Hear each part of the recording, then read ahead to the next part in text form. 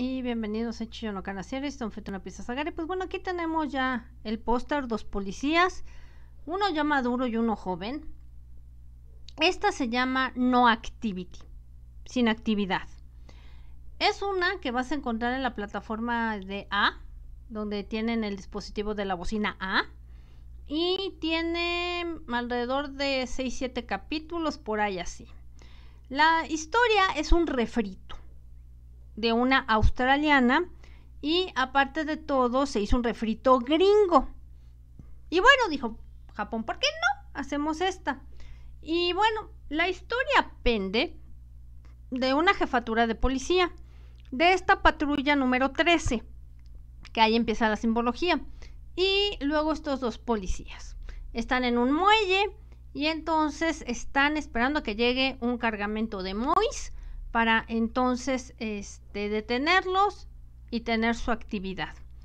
Bueno, todos los capítulos de cierta medida trata de lo que vaya siendo estos dos muchachos, las dos policías que están en la oficina recibiendo y pues reportando con ellos todas las noches si hay alguna actividad referente a lo que tienen que investigar. Y bueno, por el otro lado tenemos una bodega donde hay dos muchachos. Un señor ya maduro, una chava que acaban de secuestrar y un chavo que lo contratan y para él es muy emocionante ser ladrón. Entonces van pasando cosas inverosímiles dentro de la trama donde pues el policía Maduro pierde su arma y quien va teniendo la, el arma. Va pasando una serie como de enredos en las cuales pues están pasando otras cosas y a los policías todo les está pasando por enfrente y no están pendientes de nada. ¿Cómo?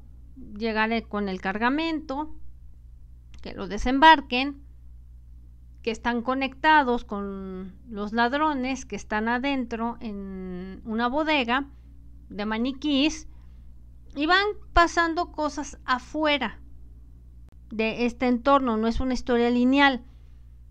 Lo que te quieren narrar es que a veces la policía es muy incompetente y entonces les paras a todo por encima, pero ellos están metidos en sus rollos entre platicando, entre que al policía se le pierde el arma, entre que también la, la secuestrada resulta ser una loca de las redes sociales y entonces para ella es estar sumida haciendo en vivos que la pelen porque es un cero a la izquierda en Japón.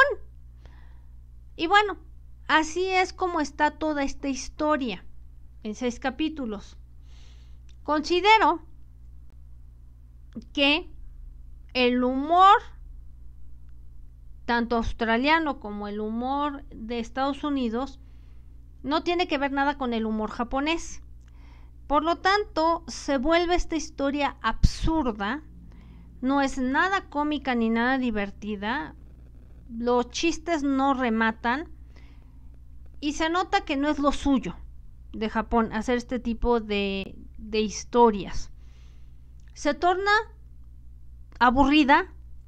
En 30 minutos ves que nada más son puros diálogos y no pasa mucho. Y así como que se va alargando y parece que cada capítulo de 30 minutos es de una hora y cuarto.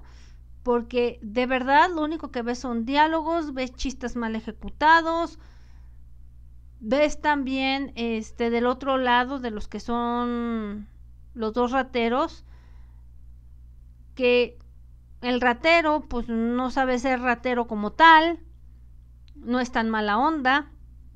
El otro chavito espera que el ladrón haga algo que para él le pueda beneficiar y le sea interesante. ¿Qué decir de la chava de las redes sociales? La quieres patear en dos minutos. Y son enredos muy mal ejecutados que no cuaja, la verdad, eh, esta historia.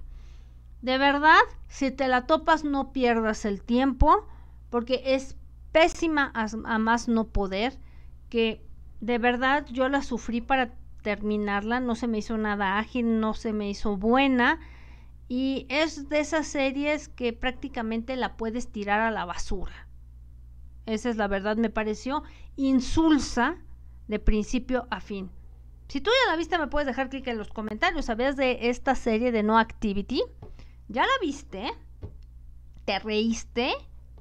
¿De verdad te pareció buena la serie o has visto series mejores de policías ejecutadas en Japón que esto? De verdad, Japón no, no hagan, de verdad, refritos de cosas que no están entendiendo en el contexto de el humor gringo, porque a veces el humor gringo es medio de pastelazo y también es medio tonto, ni del humor australiano.